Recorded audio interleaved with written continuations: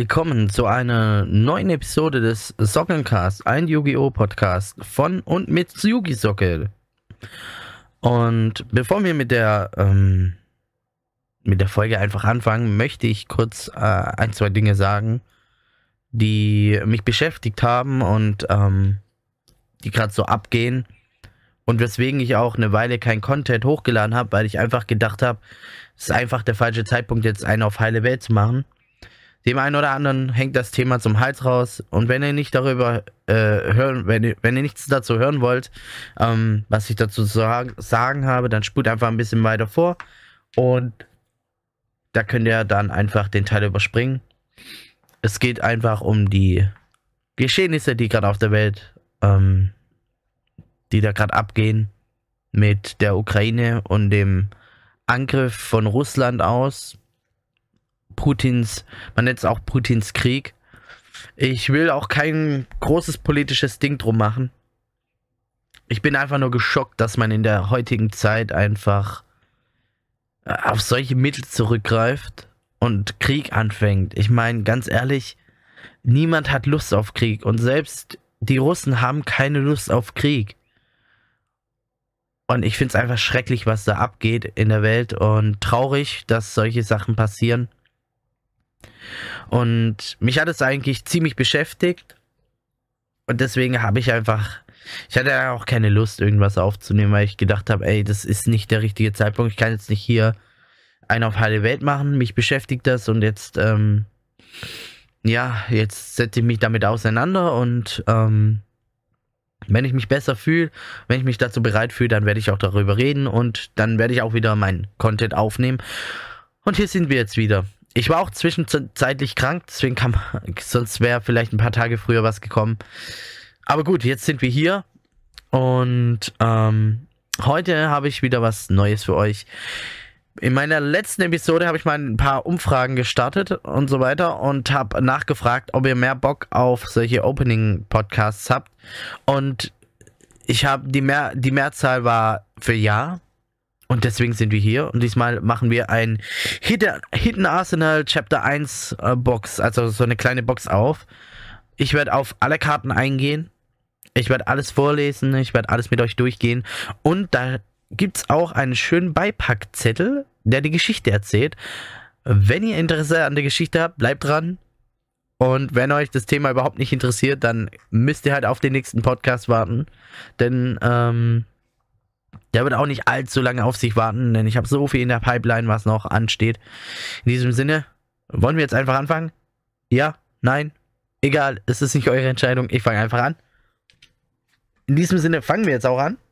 Ich mache jetzt die Box auf. Vielleicht hört ihr es auch hier ein bisschen, wie ich es aufschneide und ähm, raushole. Aber erst gucken wir mal, was ist auf der Box eigentlich zu sehen.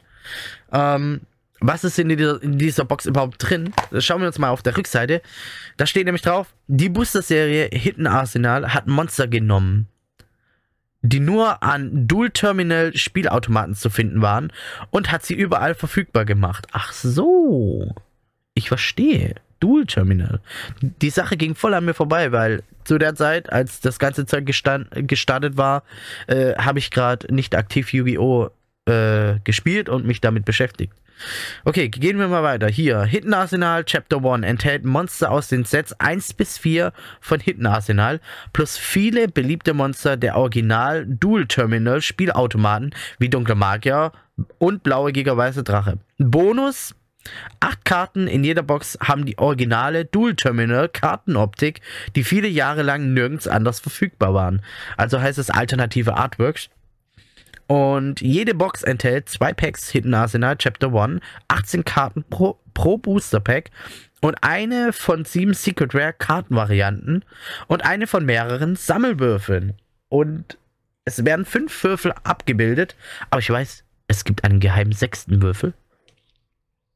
Und seit neuem deckt Konami in Europa die Würfel ab bei den alten Sets konntest du noch nach Würfel aussuchen, jetzt nicht mehr. Die haben die verdeckt. Deswegen weiß ich nicht, welcher Würfel mich hier erwartet. Und ich bin gespannt. Ich habe hier einen dunkelblauen Würfel. Ich weiß aber nicht, zu welchem Thema der gehört. Ich kann ja mal schauen, ob ich gleich in der in der Anleitung was finde, oder was heißt Anleitung, in dem Beiblättchen, das ein bisschen Story, hoppla, jetzt war es aber laut, das ein bisschen Story erklärt zu dem Hidden Arsenal Sets und zu den ganzen ähm, Themen, die da drin sind. Das heißt, heute gibt es auch ein wenig Story für euch. Ich hole, es wird nochmal laut, ich hole noch die Packs raus.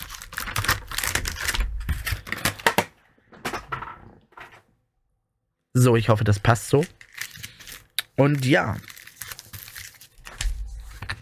ich würde sagen, wir gehen mal die Story durch. Oder das Beipackzettelchen. Und zwar haben wir hier auf der ersten Seite Eisbarriere, der Konflikt um Trishula. Die Drachen freilassen? Der Eisbarriere-Clan ist sich uneinig darüber, ob er seine ultimativen Waffen einsetzen sollte. Die Drachen der Eisbarriere. Vor langer Zeit wurden die Drachen der Eisbarriere in ein ewiges Gefängnis gesperrt. Wenn sie freigelassen werden, könnte ein außer Kontrolle geratener Trishula die gesamte Welt in Handumdrehen einfrieren.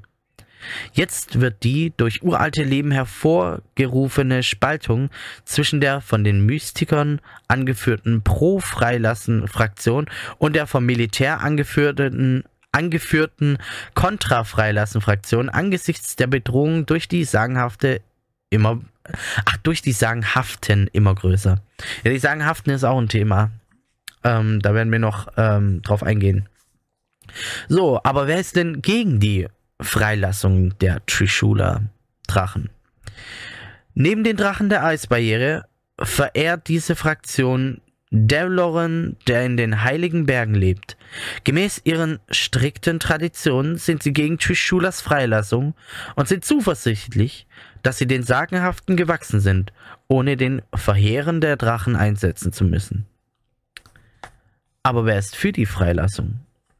Die von den Hexern und anderen Mystikern angeführte Fraktion verehrt nur die drei Drachen der Eisbarriere und will alle drei freilassen. Sie vertraut darauf, dass Trishula und seine Brüder in Zeiten der Not ihre Macht immer für den Clan der Eisbarriere einsetzen werden. Devlorn wohnt tief in den Bergen der Eisbarriere. Ihre himmlischen Kräfte hält man für stark genug, um selbst Drachen der Eisbarriere niederzuhalten. Ah, mhm. Das ist also für gegen die Freilassung. Und die drei Eisdrachen sind folgende. Diese Eisdrachen sind tief in den heiligen Bergen eingeschlossen. Also auf dem Zettel sieht man die Bilder zu den Drachen. Der Clan der Eisbarriere stammt von denen ab, welche das Gefängnis beschützt haben. Aber nach so vielen Schlachten sind sie jetzt versucht, die Drachen in ihren Kämpfen einzusetzen. Und dann gibt es einen gewissen uralten Spiegel, der erste Gründer des Clans hat diese Reliquie erschaffen, um die drei Drachen für alle Zeiten einzusperren, indem er ihre Einfrierkräfte auf sie zurückreflektierte und sie für immer einfrieren ließ. Ah, schön. Das zu den, der Eis, dem Eisbarrieren Teil. Dann kommen wir zum die Sagenhaften aus einem sagenhaften Reich. Gut, dann gucken wir uns mal die Story dazu an. Durch Unruhe in den Reichen der Sterblichen sind viele wilde Geister aus der Gefangenschaft entkommen, die Sagenhaften. Nach ihrer Befreiung wohnen sie jetzt erneut in ihrem sagenhaften Reich und können durch die Tore des Chaos in die Welt unter ihnen hinabsteigen. Man sagt, dass dieses Reich aus drei Ebenen besteht, die alle von einem mächtigen König regiert werden. Der Absolute, Nacht und Autorität hat. Ach, Macht und Autorität hat. Wisst ihr, da, da ist ein Fragezeichen und, und, und dann geht der Satz weiter. Also ist ein bisschen verwirrend hier. Für alle Sagenhaften gilt eine strikte Hierarchie, die auf ihrem Status und ihre Rolle basiert. Aha.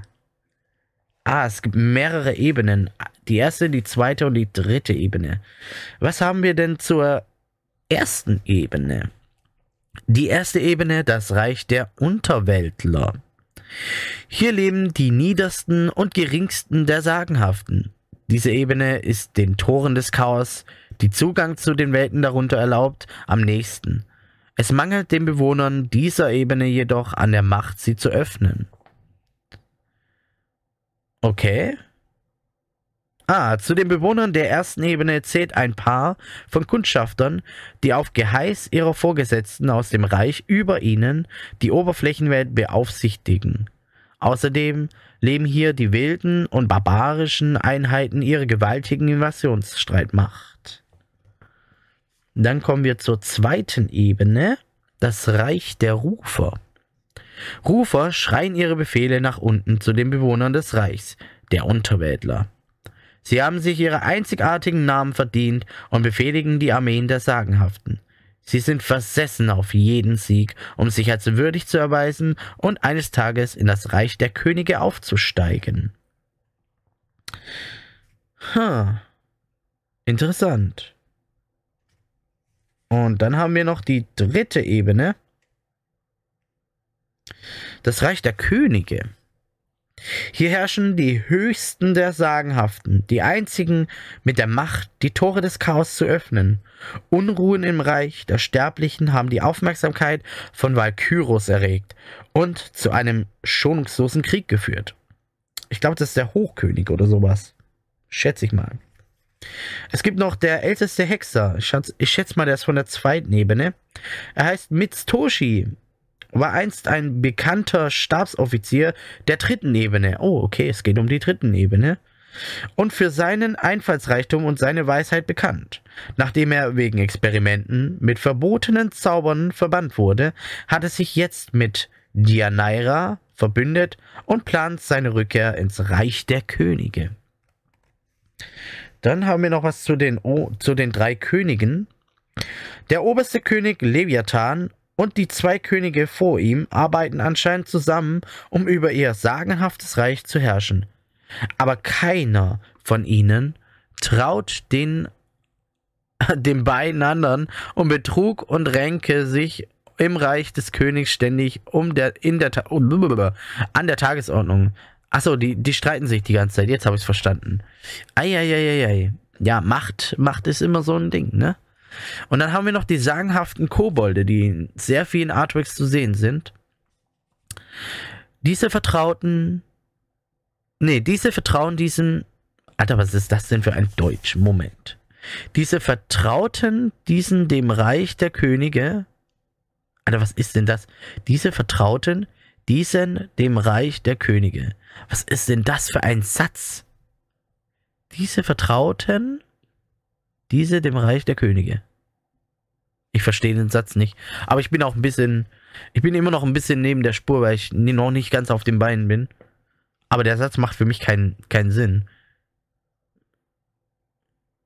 Naja, machen wir mal weiter. Sie sind die einzigen, die sich frei zwischen den Ebenen ihres sagenhaften haften Reichs bewegen können. Sie halten Ausschau nach Zeichen von Unruhe in den unteren Ebenen und behalten die Oberflächenwelt im Auge. Aber der erste Satz, der hat mich echt verwirrt.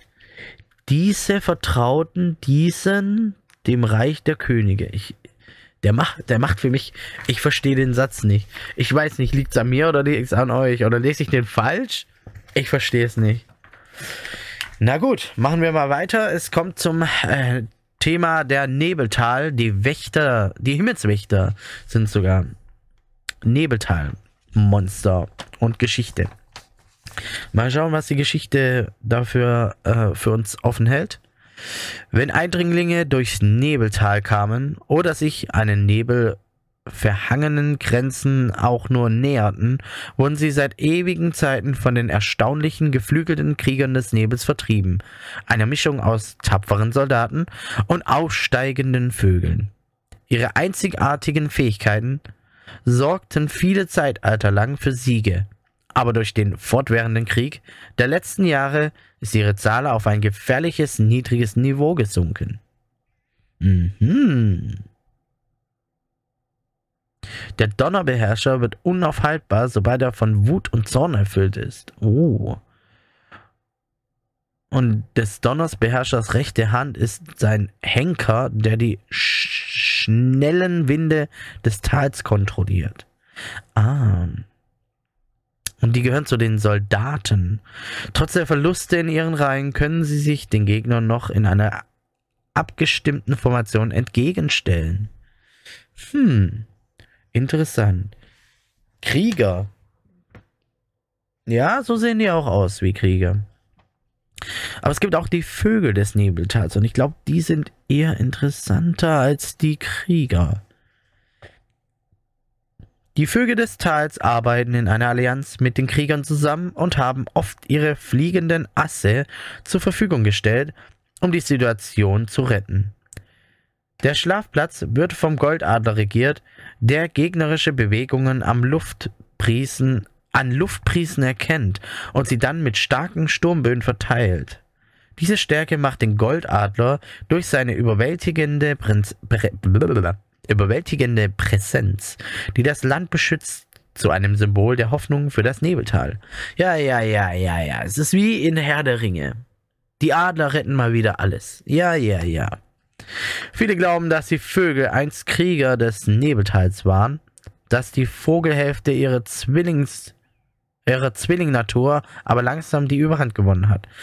Ach so, es sollen mal Krieger gewesen sein, die halb Vogel. Ach Gott, jetzt gucke ich die, mir die Krieger an und ich sehe, es sind halb Vogel, halb, halb Mensch. Halb Mensch, halb Vogel. Und der Vogelteil hat übernommen. Mhm.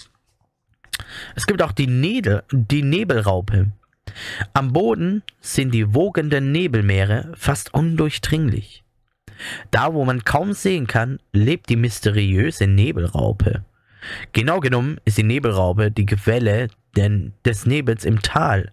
Sie erzeugt einen hypnotischen Nebel, der Eindringlinge verwirrt und sie letzten Endes wieder am Eingang des Tals enden lässt, wo sie ihre Reise begonnen haben. Manche sagen, dass die Nebelraupe nur existiert, um das Nebeltal vor Eindringlingen zu schützen.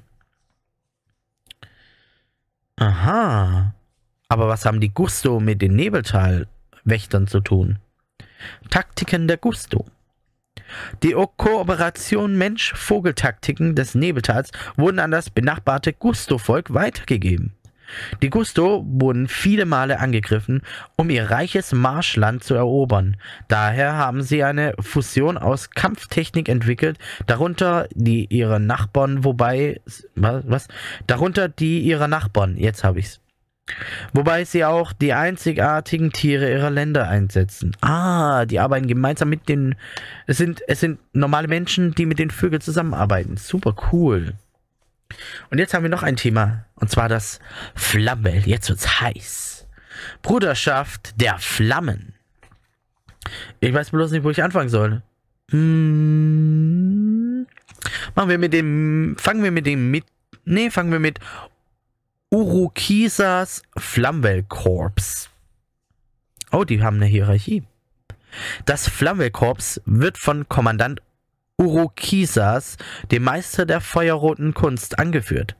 Zum Rückgrat seiner Armee zählen der Faun aus der Kundschaftereinheit, der Bogenschütze aus den Selbstverteidigungskräften und Grunika aus der Angriffsbrigade. Aber in den Rängen herrscht eine große Unruhe.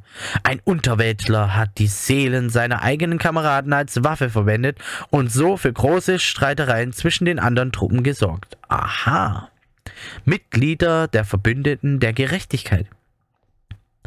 Um sich gegen die Wurminvasion aus dem Weltall zu verteidigen, haben sich die Flammwell den anderen drei Nationen angeschlossen, um die Streitkräfte, Streitkräfte der Verbündeten der Gerechtigkeit zu bilden. Die Flammwellmeister der blutroten Flammen spielen in diesen Schlachten eine kritische Rolle. Roll, Roll, Rollen. Hä? Also es ist echt schwer geschrieben, ey. Eine kritische Rolle, wenn sie den Eindringlingen aus dem All mit Feuer auslöschen und sie wegsperren. Alter, was ist denn das? Okay, es tut mir so leid. Ich fange nochmal von vorne an, okay? Aber irgendwas stimmt da nicht. Ich glaube, das ist einfach nur schlecht übersetzt gerade. Okay, nochmal neu. Mitglieder der Verbündeten der Gerechtigkeit. Ich krieg's hin. Um sich gegen die Wurminvasion aus dem Weltall zu verteidigen, haben sich die Flammenwelt den anderen drei Nationen angeschlossen, um die Streitkräfte der Verbündeten der Gerechtigkeit zu bilden. Die Flammenmeister der blutroten Flammen spielen in diesen Schlachten eine kritische Rolle, wenn sie die Eindringlinge aus dem All mit Feuer auslöschen und sie wegsprengen, bevor diese auch nur reagieren können. Es ist doch einfach nur ein Übersetzungsfehler. Wenn ich es so vorgelesen habe, macht es Sinn, aber die, die, Über die Übersetzung ist nicht eindeutig. Also es tut mir leid. Deswegen hat der Satz vorhin wohl keinen Sinn gemacht. Okay, was haben wir denn hier noch zu den Flammen? Eine alte Gottheit erwacht aus ewigen Schlummer. Bald nach ihrer Entstehung begann die Neo-Flamwell eine mysteriöse Gottheit zu verehren, fast als ob sie besessen wären. Dann begannen sie in reinen, makellosen Flammen zu brennen, und diese Energien erwecken eine uralte Flammengottheit, um erneut auf, die Erde zu, auf der Erde zu wandeln. Stimmt, es gibt ja auch noch Neo-Flammbell. Ein neues Feuervolk geboren aus der sagenhaften Schlacht. Einem groß angelegten Angriff der Sagenhaften auf die Welt stellte sich das Flammenwellkorps kühn entgegen, was gewaltige Hitze freisetzte, die Teile der Welt verdampfen ließen. Aus dieser Asche erhob sich ein neues Volk. Diese neue Art wuchs schnell, entwickelte sich, entwickelte sich rasant und wird jetzt in Erinnerung an seine verschwundenen Vorfahren Neo-Flammbell genannt. Ah, jetzt macht das Ganze einen Sinn. So viel dazu. Machen wir mal weiter. Wir haben noch ein bisschen was an Storyteile. Ich hoffe, ihr habt Spaß an Story. Ich habe Spaß daran, weil es ist ja auch interessant, mal die Story hinter den Karten zu äh, hören. Deswegen lese ich weiter, aber ich muss erstmal hier ein bisschen umblättern. So. Wir gehen weiter zur Dracheneinheit, die Kriegsdrachen. Meister der Welpen. Bei Tag und bei Nacht ziehen die Vogelmenschen die mächtige Drachenarmee auf und bilden sie aus, wobei junge Truppen Befehle vom grimmigen Legionär, dem erfahrenen Dux und dem geschickten Militum entgegennehmen. Ah, okay. Königreich im Himmel. Das Territorium der Dracheneinheiten erstreckt sich rund um die Drachenschlucht, tief im Nebeltal. Man merkt, es hat alles miteinander zu tun. Die hier lebenden Vogelmenschen haben die geheime Kunst der Kommunikation mit Drachen gelernt und in Zeiten der Not rufen sie diese herbei. Die Dracheneinheiten lebten lange isoliert, sind aber in diesen unruhigen Zeiten von ihren Horsten herabgestiegen und beim Schutz, um beim Schutz des Nebeltals zu helfen. Mhm. Ich wusste gar nicht, dass sie alle so miteinander zusammenhängen. Ist ja richtig cool. So, der mächtigen Drachenwelpen. Die mächtigen, oder nein, es steht nur mächtige Drachenwelpen. Junge Welpen brechen darauf, ihre Kräfte als Einzelkämpfer unter Beweis zu stellen. Wenn sie heranreifen, schließen viele einen Bund mit einem Vogelmenschen, um mächtige Dracheneinheit Ritter zu bilden. Aber in ihrer Jugend pro, pro, poliere manche lieber ihre eigenen Fähigkeiten auf und werden selbst zu kämpfen, Kämpfern. Ah, das heißt, es gibt welche, die, die sich mit Menschen zusammentun, mit diesen Vogelmenschen zusammentun. Und es gibt welche, die einfach für sich bleiben. Gemeinsamer Tanz am Himmel.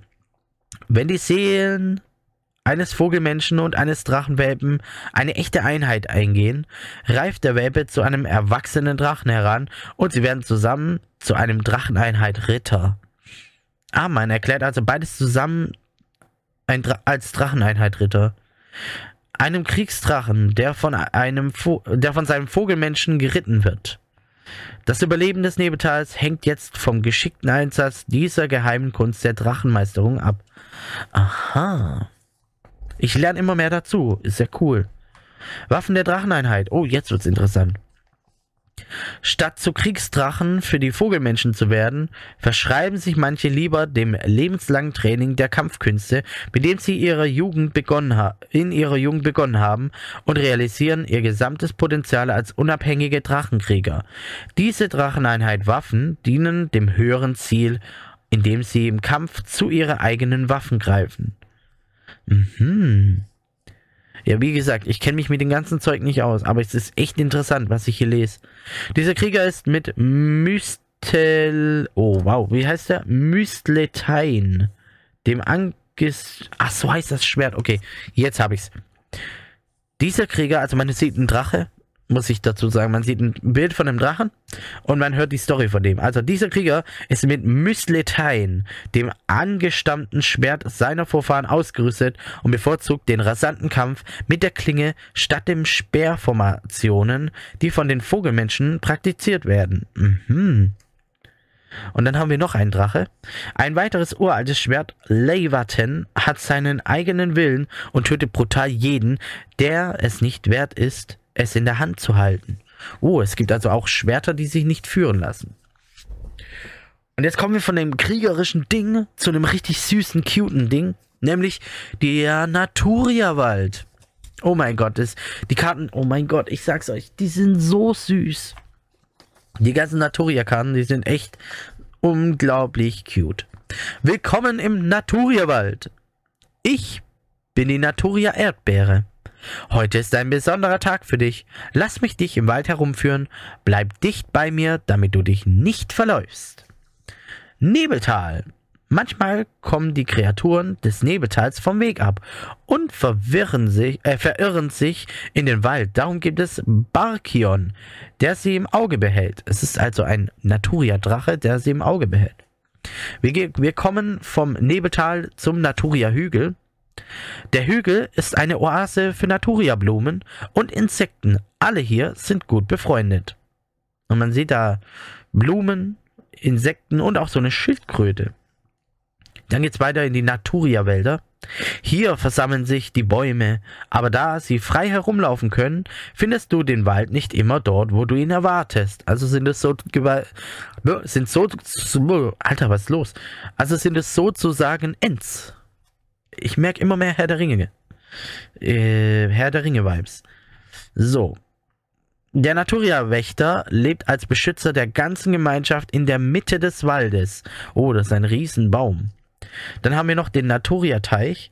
Die Sommer-Moskitos machen dem Löwendrachen wirklich zu schaffen. Und man sieht halt ein Bild vom Löwendrachen und äh, von den Moskitos. Und dann haben wir noch den Naturia-Pfad. Und hier steht der kräftigste Naturia und umgibt den Wald, um alle Bösewichte abzuwehren. Und das sind halt die riesen Stein-Naturia-Monster. Und eins haben wir noch, nämlich die, den Naturia-Tiger. Das edle Naturia-Ungeheuer jagt Wilderer, die sich in den Wald wagen. Also ziemlich nicht schlecht. Nicht, nicht ziemlich schlecht. Also. Okay, jetzt habe ich mal kurz die Lippen befeuchtet. Nicht schlecht. Ziemlich, ziemlich cool. So mal. So wollte ich sagen.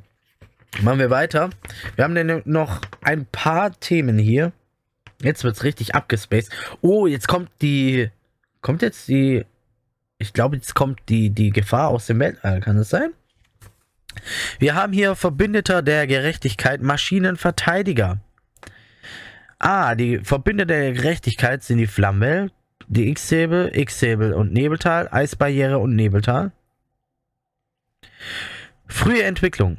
Um es mit der neuen Bedrohung durch die außerirdischen Wurmeindringlinge aufzunehmen, entschlossen sich Ingenieure von vier Völkern zur Zusammenarbeit und zum Aufbau einer Armee aus unabhängigen, intelligenten Maschinen. Aber diese Gruppen waren lange verfeindet gewesen, daher arbeitete anfangs jede Gruppe Ingenieure für sich. Jede hatte ihre eigenen Ideen und es gab wenig Kommunikation, daher sah man jeder Schöpfung ihre Erbauer an. Ah.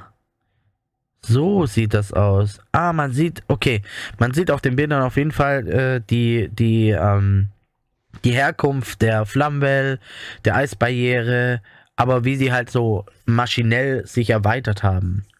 Dann kommt mit Wurmenergie gebaut verbesserte Verarbeitung. Nachdem die aus dem Wurmplaneten extrahierte Substanz analysiert und in die Verbündeten der Gerechtigkeit Maschinen installiert war, waren die Ingenieure fasziniert, wie diese ihre Verarbeitungsfähigkeiten steigerte. Von diesem Moment an begannen sie Maschinen zu bauen, um mehr Würmer fangen und mehr dieser außerordentlichen Energiequelle aus dem Weltall zu erlangen. Das heißt, die haben die Bedrohung aus dem Weltall gegen das Weltall benutzt. Gegen die Feinde, die Außerirdischen. Dann gibt es ein geheimes Projekt, Kosmisches Portal. Diese Maschine wurde entwickelt, um Ziele in verschiedenen Dimensionen zu verbannen. Sie erreichte jedoch keinen ausreichend hohen Energieausstoß, um das zu erreichen. Aha. Oh, jetzt geht's los. Letzte Projekte.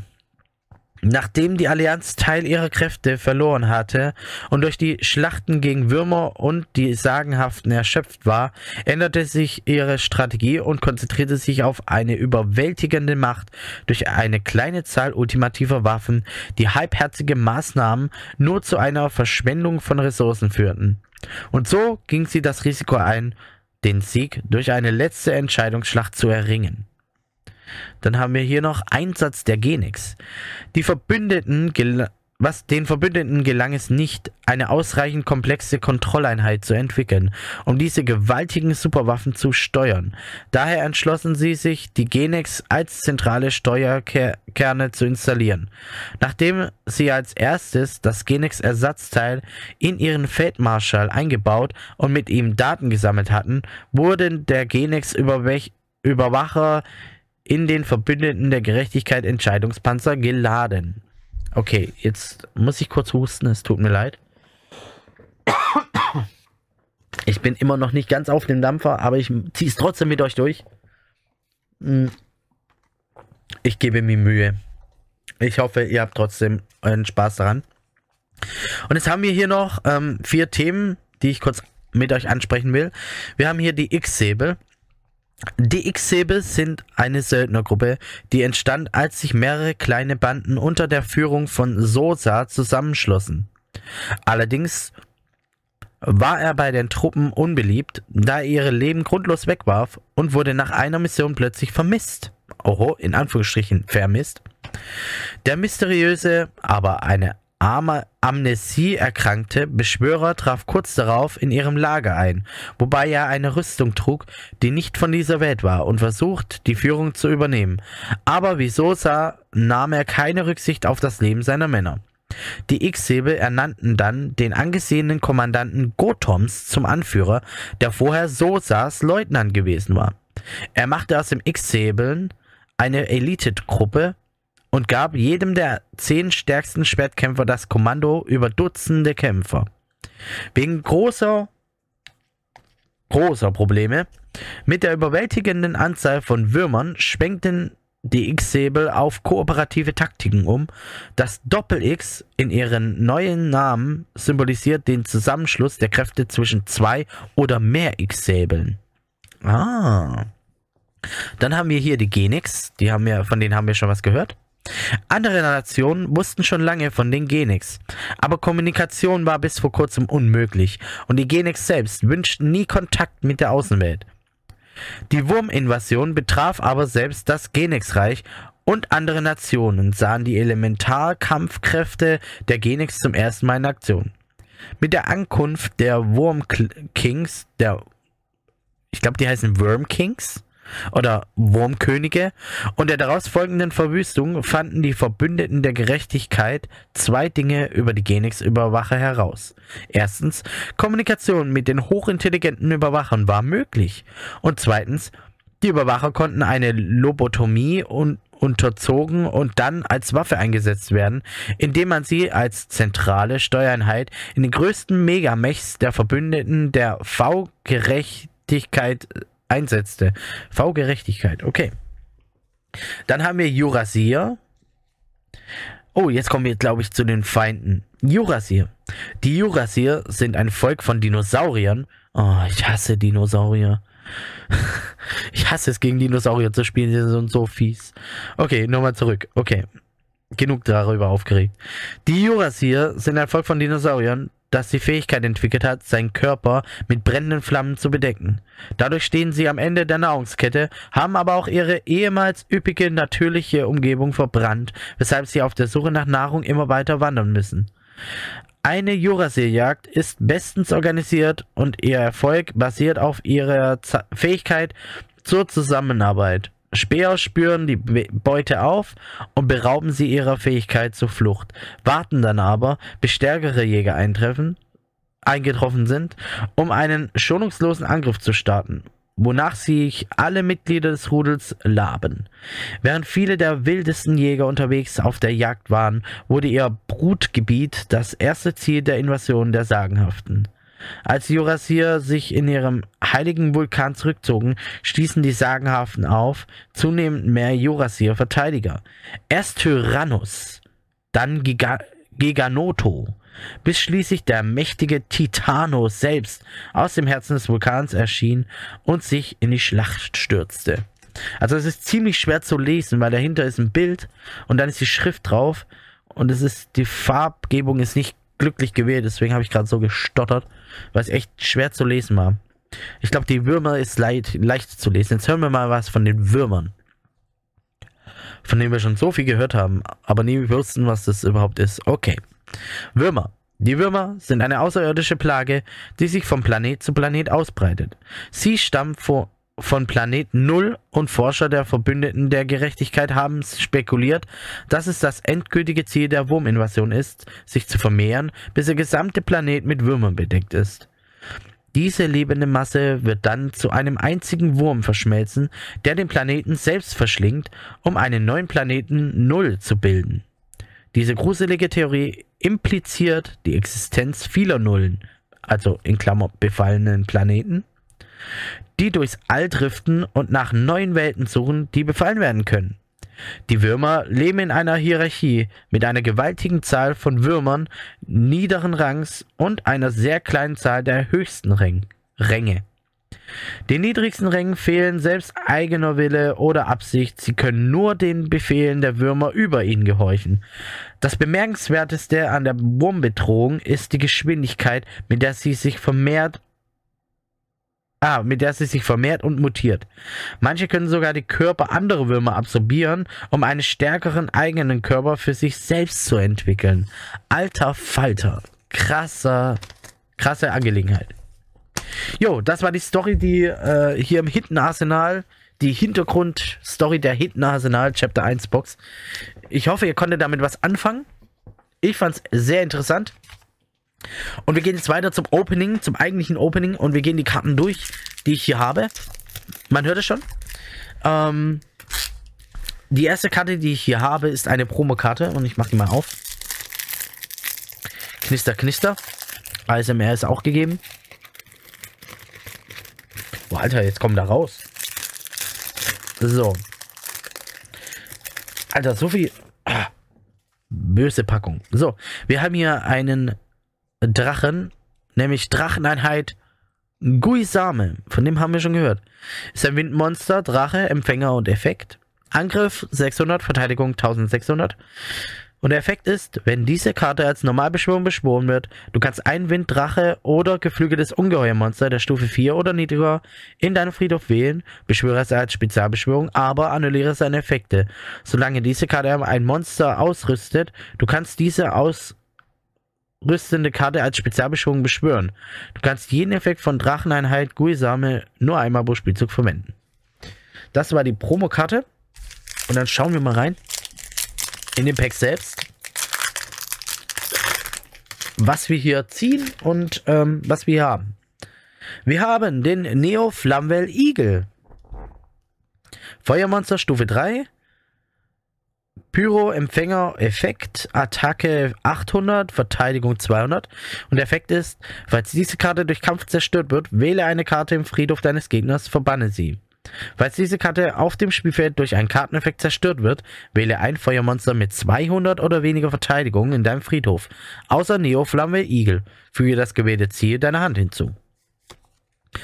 Es geht weiter mit Neo Flamme. Wir haben Neo Flammwell Säbel. Feuermonster Stufe 4, 1500 Verteidigung, 200 Verteidigung, äh, 1500 Angriff, 200 Verteidigung. Pyro-Effekt. Diese Karte wird nicht als Säbelkarte behandelt, weil das steht im Namen Flamme Säbel. Solange dein Gegner vier oder weniger Karten in seinem Friedhof hat, erhält diese Karte 600 Angriff. Solange der Gegner acht oder mehr Karten in seinem Friedhof hat, verliert diese Karte 300 Angriff. Okay. Dann geht es weiter immer noch mit Flammel, nämlich Flammel Grunica. Auch ein Feuermonster Stufe 4. 1700 Angriff, 200 Verteidigung. Man merkt, der Igel holt die alle aus. Das ist ja richtig cool. Drache-Effekt. Falls diese Karte ein Monster durch Kampf zerstört und auf den Friedhof legt, füge dein Gegner Schaden in Höhe der Grundstufe des zerstörten Monsters mal 200 zu. Dann geht's los. Verbündeter der Gerechtigkeit Omni-Waffe. Finsternis Stufe 5. 1, 2, 3, 4, 5. Ja. Attacke 2200, Verteidigung 800. Maschine Effekt. Falls diese Karte ein Lichtmonster durch Kampf zerstört und auf den Friedhof legt, ziehe eine Karte. Dann, falls du ein Finsternismonster Stufe 4 oder niedriger gezogen hast, kannst du die Karte vorzeigen und als Spezialbeschwung beschwören. Dann haben wir Verbündeter der Gerechtigkeit, Umlaufleser. Doch Umlaufleser. Finsternis Stufe 3, Angriff 1000, Verteidigung 1000. Maschine Empfänger Effekt, Schnelleffekt. Du kannst diese Karte vom auf den Friedhof abwerfen und dann bis zu zwei Lichtmonster in deinem, im Friedhof deines Gegners wählen. Verbanne die gewählten Ziele. Ui, das ist ja fies. Oh, in welchem Deck benutzt man viele Lichtmonster? Cyberdrache. Da ist es ziemlich stark. Dann gehen wir ins Nebeltal, nämlich Nebeltal Baby Rock. Windmonster Stufe 2, Angriff 400, Verteidigung 600, geflügeltes Ungeheuer, Empfänger Effekt. Wenn diese Karte von der Hand auf den Friedhof gelegt wird, du kannst sie als Spezialbeschwörung beschwören. Dann kommen wir zum Gojo-Wächter. Erde. 1, 2, 3, 6 Sterne Monster mit 2800 Angriff, 2000 Verteidigung. Krieger Synchro-Effekt. Ein Erdeempfänger plus ein plus Nicht-Empfänger-Monster. Wenn diese Karte ein Monster eines Gegners durch Kampf zerstört und auf den Friedhof legt, du kannst das Monster als Spezialbeschwörung auf deine Spielfeldseite in die Verteidigungsposition beschwören. Dann haben wir die erste, ich nenne sie Hidden Arsenal Rare. Blist, Verteidiger der Eisbarriere, ist ein Wassermonster Stufe 1. Angriff 300, Verteidigung 500. Aqua Effekt. Falls diese Karte durch Kampf zerstört und auf den Friedhof gelegt wird, ziehe eine Karte. Dann haben wir den Kartenkavallerist. Ein Erdemonster, Stufe 3. Angriff 400, Verteidigung 400, Maschine Effekt. Einmal pro Spielzug, du kannst eine Zahl von 1 bis 3 bestimmen und dann so viele oberste Karten von deinem Deck auf den Friedhof legen. Diese Karte erhält bis zum Ende des Spielzugs für jede auf diese Art auf den Friedhof gelegte Karte 500 Angriff. Falls diese Karte, die du kontrollierst, zerstört und auf den Friedhof gelegt wird, ziehe eine Karte. Nicht schlecht. Dann haben wir Kräfte rauben, eine Falle, kontinuierliche Falle. Aktiviere diese Karte, indem du 1000 Lebenspunkte zahlst. Annulliere die Effekte aller offenen Monster, solange sie offen auf dem Spielfeld liegen. In Klammer, ihre Effekte können aber trotzdem aktiviert werden. Klammer zu. Und dann haben wir noch Dracheneinheit Ritter Barcher. Ein Windmonster. Zwei, vier. Mit acht Sterne. Attacke hat er 2000. 1200 Verteidigung. Drache, Synchro-Effekt. Ein Drache-Empfänger plus ein plus geflügeltes Ungeheuer, Nicht-Empfängermonster. Wenn diese Karte als Synchro-Beschwörung beschworen wird, du kannst eine beliebige Anzahl Dracheneinheit, Drache-Monster in deinem Friedhof wählen, rüste diese Karte mit den Drachenmonstern aus. Diese Karte erhält für jede Dracheneinheit-Karte mit Karte, mit der sie ausgerüstet ist, 300 Angriff. Nicht schlecht. Dann haben wir den sagenhaften Valkyros Licht. 2, 4, 6, 8 Sterne Monster mit 2900 Angriff und 1700 Verteidigung. Das Synchro-Monster. Unterweltler Synchro-Effekt. Ein sagenhaft Empfänger plus ein nicht-Empfängermonster. Einmal pro Spielzug, du kannst ein Unterweltler-Monster abwerfen, ziehe eine Karte. Cool Effekt. Sagenhafter Diff, auch ein Lichtmonster, Stufe 3. 1400 Angriff, 1700 Verteidigung. Unterweltler mit Effekt. Wenn ein oder mehr Sagenhaft-Monster von der Hand auf deinen Friedhof gelegt werden, außer während des Damage Steps, Du kannst diese Karte als Tribut anbieten und dann eins der Monster wählen, beschwöre es als Spezialbeschwörung. Dann haben wir den sagenhaften Jawa. Licht, Stufe 1. Angriff 200, Verteidigung 100. Ist ein ungeheuer Empfänger-Effektmonster. Während deiner Main Phase, du kannst diesen Effekt aktivieren. Wirf ein sagenhaften Monster ab und falls du dies tust, beschwöre diese Karte als Spezialbeschwörung von deiner Hand. Dann geht's ins Naturia-Reich. Naturia Cosmo-Rübe. Erdemonster, Stufe 2. 1000 Angriff, 700 Verteidigung. Pflanze, Empfänger mit Effekt. Wenn dein Gegner ein Monster als Normalbeschwörung beschwört oder setzt, du kannst diese Karte als Spezialbeschwörung von deiner Hand beschwören. Wow. Das ist ja. Das ist ja fies, ey. Sobald der Gegner irgendwas macht, kannst du die einfach rausballern. Also, ich meine, so, sobald der Monster beschwört. Okay, er muss normal beschwören oder, oder setzen. Aber selbst wenn gesetzt wird, kann man den aktivieren. Also ist gar nicht mal so schlecht. Finde ich cool. Dann haben wir den sagenhaften Hanator. Lichtmonster Stufe 4. 1700 Angriff, 1500 Verteidigung, Ungeheuer mit Effekt. Wenn diese Karte ein Monster deines Gegners durch Kampf zerstört und auf dem Friedhof liegt, du kannst ein sagenhaft Monster abwerfen, ziehe eine Karte. Dann haben wir sagenhafter Aschenvale. Das ist ein Lichtmonster Stufe 4. 1600 Angriff, 1200 Verteidigung, Unterwäldler mit Effekt. Einmal pro Kampf, falls diese Karte kämpft, während der Schadensberechnung Schnelleffekt. Du kannst eine Karte von deiner Hand auf den Friedhof legen. Diese Karte erhält nur während der Schadensberechnung 600 Angriff. Und das letzte Monster aus dem ersten Pack, Naturia Käfer. Erdemonster Stufe 4, Angriff 400, 1800 Verteidigung. Insekt mit dem Effekt, jedes Mal, wenn eine Zauberkarte aktiviert wird, vertausche die Grundattacke und Verteidigung dieser Karte. Okay, interessant. Sowas habe ich jetzt auch noch nicht erlebt. Aber klingt schon mal nicht schlecht. Kommen wir zum letzten Pack. Und wir schauen mal rein, was wir dazu haben. Wir fangen an mit General Grunard der Eisbarriere. Ein Wassermonster, ich glaube der Stufe 2, 4, 6, wieder der Stufe 8. 2800 Angriff, 1000 Verteidigung. Es ist ein Kriegermonster mit einem Effekt.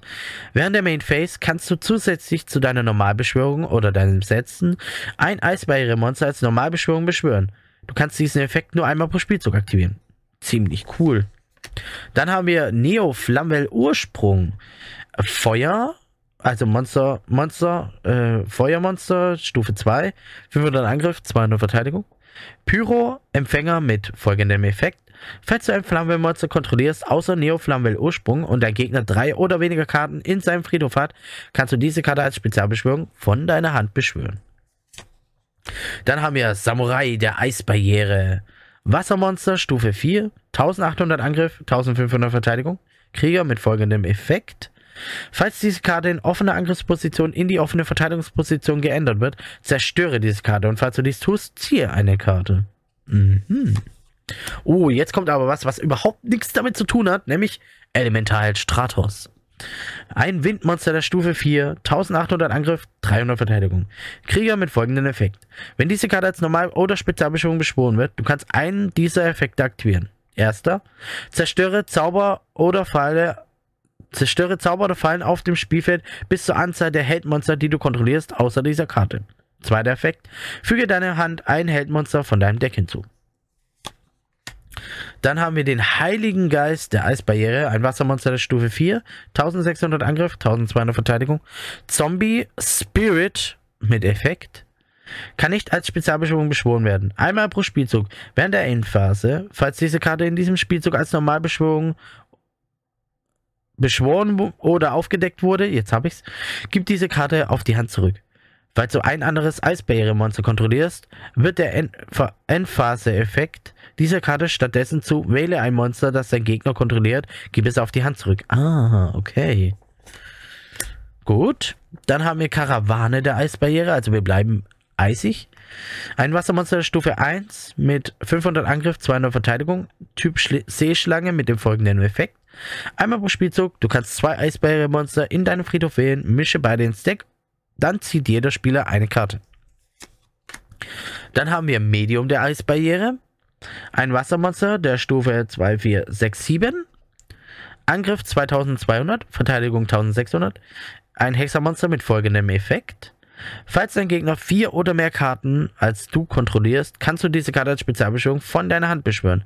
Dein Gegner kann in jedem Spielzug nur eine Zauber oder Falle aktivieren. Dann haben wir was richtig Süßes, nämlich die Naturia Ananas. Sein Erdemonster der Stufe 2 mit 100 Angriff, 100 Verteidigung. Pflanze mit folgendem Effekt. Alle offenen Monster, die du kontrollierst, werden zu Pflanzenmonster. Einmal pro Spielzug während deines Standby-Phase, falls du keine offene Naturia Ananas kontrollierst und keine Monster außer Pflanze oder Ungeheuer in deinem Friedhof hast, du kannst diese Karte als Spezialbeschwörung von deinem Friedhof beschwören. Du darfst weder Zauber noch Fallen kontrollieren, um diesen Effekt zu aktivieren und auszulösen. Aufzulösen. Okay. Ist aber fies, keine Zauber oder Fallen. Dann haben wir, oh, Devloren, Tigerkönig der Eisbarriere. Ein Wassermonster der Stufe 2, 4, 6. Angriff 2000, Verteidigung 1400. Ungeheuer Synchro mit Effekt. Ein Empfänger plus ein Wasser, nicht Empfängermonster. Du kannst eine beliebige Anzahl anderer offener Karten wählen, die du kontrollierst. Gib die gewählten Ziele auf die Hand zurück. Dann erhält diese Karte für jede durch diesen Effekt auf die Hand zurückgegebene Karte bis zum Ende des Spielzugs 500 Angriff. Du kannst diesen Effekt von Devloren, Tigerkönig der Eisbarriere, nur einmal pro Spielzug verwenden. Dann haben wir den mystischen Raumtaifun. Es ist eine Schnellzauberkarte mit dem Effekt, wähle eine Zauber oder Falle auf dem Spielfeld, zerstöre das gewählte Ziel. Klassiker. Und, oh mein Gott, wir haben Trishula, Drache der Eisbarriere gezogen. Es ist ein Wassermonster der Stufe 2, 4, 6, 8, 9. Angriff 2700, Verteidigung 2000. Drache Synchro mit folgendem Effekt. Ein Empfänger plus zwei Nicht-Empfängermonster. Wenn diese Karte als Synchro-Beschwörung beschworen wird, du kannst jeweils bis zu eine Karte von der Hand der Spielfeldseite und dem Friedhof deines Gegners verbannen. Diese Karte in der Hand wird zufällig. Ah, die Karte in der Hand wird zufällig bestimmt. Dann haben wir die sagenhafte Cat Sith, ein Lichtmonster Stufe 1. Attacke 800, Verteidigung 600. Ungeheuer Empfänger mit folgendem Effekt. Falls diese Karte auf dem Friedhof abgeworfen wird, wähle eine offene Karte auf dem Spielfeld, zerstöre das gewählte Ziel. Dann haben wir noch Dracheneinheit Partisan. Ein Windmonster der Stufe 2 mit 1200 Angriff und 800 Verteidigung. Es ist ein Drache-Empfängermonster mit folgendem Effekt. Wenn diese Karte als Normalbeschwörung beschworen wird, du kannst ein Dracheneinheit geflügeltes Ungeheuermonster als Spezialbeschwörung von deiner Hand beschwören, dann rüste es mit dieser Karte aus. Solange diese Karte ein Monster ausrüstet, wird das Monster als Empfänger behandelt. Nicht schlecht. Dann haben wir Dracheneinheit Legionär, ein Windmonster Stufe 3 mit 1200 Angriff und 800 Verteidigung. Es ist ein geflügeltes Ungeheuer mit folgendem Effekt. Wenn diese Karte als Normalbeschwörung beschworen wird, du kannst ein Dracheneinheit Drachemonster der Stufe 3 oder niedriger in deine Friedhof wählen. Rüste diese Karte mit dem gewählten Ziel aus. Du kannst ein Dracheneinheit, eine Dracheneinheit Karte von deiner Zauber- und Fallenzone auf dem Friedhof legen und dann ein offenes Monster wählen. Wow, was für ein Satz das dein Gegner kontrolliert. Zerstöre das gewählte Ziel. Das ist ein richtig langer Satz. Es ist ein Satz. Ne, es sind zwei Sätze, aber richtig lang. Dann haben wir als nächstes der sagenhafte Zerburbel. Warte, was? Der sagenhafte Zerburel. Zerburel. Zerburel, Zerburel, Zerburel, Zerburel. Okay, ich habe es dreimal hintereinander gesagt. Jetzt können wir weitermachen. Ein Lichtmonster Stufe 2. 1000 Angriff, 400 Verteidigung, ein ungeheuer Empfänger und hat folgenden Effekt. Falls diese Karte auf den Friedhof abgeworfen wird, beschwöre sie als Spezialbeschwörung. Dann haben wir sagenhafter Mitstochi. Ein Lichtmonster Stufe 2, 400 Angriff, 200 Verteidigung. Unterbädler, Empfänger mit folgendem Effekt. Du kannst diese Karte von deiner Hand auf den Friedhof legen und dann ein sagenhaft Nicht-Empfängermonster wählen, das du kontrollierst. Das Monster wird als Empfänger behandelt, solange es offen auf dem Spielfeld liegt. Und zum Schluss haben wir, oh ne, vorletzter, ich war zu früh, es tut mir leid. Wir haben als vorletzten sagenhafter Leviathan, ein Lichtmonster der Stufe 2, 4, 6, 8, 10, wow. Ein Stufe 10er Monster mit 3000 Angriff und 2000 Verteidigung. Es ist ein Unterwäldlermonster und ein Synchromonster mit folgendem Effekt. Man braucht einen sagenhaften Empfänger und ein Nicht-Empfängermonster. Wenn diese Karte auf dem Spielfeld zerstört und auf den Friedhof gelegt wird, du kannst bis zu drei sagenhafte Monster in deinen Friedhof wählen, füge sie deiner Hand hinzu. Und last but not least, Dracheneinheit Pilum. Ja, genau, Dracheneinheit Pilum. Ich habe gerade nochmal überlegt, aber nee, stimmt so, Pilum. Ein Windmonster Stufe 3. Mit 1400 Angriff, 1000 Verteidigung. Es ist ein Drache-Empfängermonster mit einem Effekt, der heißt, wenn diese Karte als Normalbeschwörung beschworen wird, du kannst ein Dracheneinheit geflügeltes Ungeheuermonster als Spezialbeschwörung von deiner Hand beschwören, dann rüste es mit dieser Karte aus. Solange diese Karte ein Monster ausrüstet, kann das Monster deinen Gegner direkt angreifen, aber wenn es dies durch den Eff diesen Effekt tut, wird der Kampfschaden halbiert, der deinem Gegner zugefügt wird. Yo, was ist mir aufgefallen an dem Set? Es sind fast, es sind nur Monster. Ja, es sind nur Monster. Nur Monster.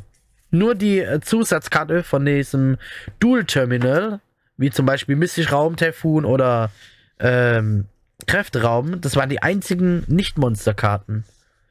Ziemlich interessant. Konami hat ja ein Set nur mit Monster rausgebracht. Wusste ich gar nicht. Ah. Krass. Ist mir nicht aufgefallen vorher. Ja, krass. Okay. Gut, das war ähm, eine Box und die Geschichte zu den Hidden Arsenal Monster Archetypen. Ähm, ich fand es ziemlich interessant und mir hat es richtig Spaß gemacht. Ähm, auch wenn es teilweise komisch übersetzt war oder ich einfach zu blöd zum Lesen war und ich mich teilweise schwer getan habe, weil es ein bisschen schwierig zu lesen war für mich, ähm, weil es irgendwie farblich ein bisschen sich überlappt hat und dann ein bisschen schwer zu lesen war. Aber ich habe mir Mühe gegeben. Ich hoffe, ihr, weiß, ihr wisst das zu schätzen. In. Was wollte ich euch noch sagen? Ach so, ja. Es hat mir Spaß gemacht, äh, diesmal deutsche Karten vorzulesen. Nicht so wie beim letzten Mal, wo ich ähm, frei übersetzt habe, oft. Und ich hoffe, ihr hattet auch Spaß und euch hat das, den, der geschichtliche Teil auch gefallen. In diesem Sinne, ähm, ja, es wird in Zukunft noch einiges kommen. Ähm, ich habe auch vor, Deck-Profile zu machen. Da wurde auch schon eine Frage gestellt, wenn ich hier nochmal nachschaue, ob ich nicht Deck, noch äh, Deck-Profiles machen kann. Zum Beispiel zu Elementarhelden. Aber Elementarhelden, damit kenne ich mich zu wenig aus. Ich habe zwar Elementarhelden-Deck da, aber das habe ich mir von einem Kumpel, ähm, von einem Freund gekauft. Da habe ich seine Sammlung aufgekauft. Und daher ist das Deck, ich habe leider keine Ahnung, wie man Elementarhelden ähm, effizient, effizient spielt. Ähm, deswegen kann ich da nicht viel zu sagen, aber ich werde ein edle Ritter Deck Profile machen, denn ich spiele hauptsächlich zurzeit edle Ritter. Und ich nenne mein Deck Edle Ritter der Flammen, denn ich habe da ein bisschen, bisschen anderen Support noch mit drin. Ihr werdet es dann sehen, wenn es soweit ist. Also freut euch da schon mal drauf. In diesem Sinne, ähm, es hat mir echt Spaß gemacht. Es ist schön, wieder ein bisschen zu quatschen und äh, wieder ein bisschen Normalität hier reinkommen zu lassen in meinen Kanal und ähm, also auf meinen YouTube-Kanal und hier beim Podcast. Ich hoffe, ihr hattet auch viel Spaß oder halb so viel Spaß oder genauso viel Spaß wie ich. Verzeiht mir meine Lesefehler, aber ich habe eine, ich weiß nicht, ob ihr es gemerkt habt, aber ich habe eine immer noch andauernde oder seit Kindheit andauernde Lese-Rechtschreibschwäche, was, weswegen es mir fair, äh, fair, da fängt schon an, weswegen es mir schwer fällt, ähm, zu lesen oder halt vorzulesen. Und äh, richtig zu lesen und vernünftig zu lesen. Manchmal lese ich auch, wenn ich nur für mich lese, äh, paar Sätze dreimal, weil ich es einfach nicht verstehe. In diesem Sinne hoffe ich, dass ihr mir das nachsehen könnt. Und ich hoffe, ihr hattet viel Spaß. Und in diesem Sinne, vielen Dank fürs Reinhören. Und wir hören uns beim nächsten Mal. Oder wir sehen uns beim nächsten Mal. Und falls ihr, falls ihr Bock auf ein Opening-Video habt, wo ich die Karten einfach nur öffne und nicht, nicht viel dazu sage, dann schaut auf meinen YouTube-Kanal vorbei. Da habe ich ein Opening hochgeladen. Ähm, zu dem Hidden Arsenal äh, Chapter 1 Set. Ich habe da vier Boxen aufgemacht. Ich habe gedacht, vier Boxen reichen. Weil da sind echt viele Karten drin. Und ja, das war's eigentlich. Und dann freue ich mich schon auf das nächste Mal mit euch. In diesem Sinne, jetzt sage ich schon zum 10.000 Mal in diesem Sinne. Aber in diesem Sinne, vielen Dank und bis zum nächsten Mal. Ciao.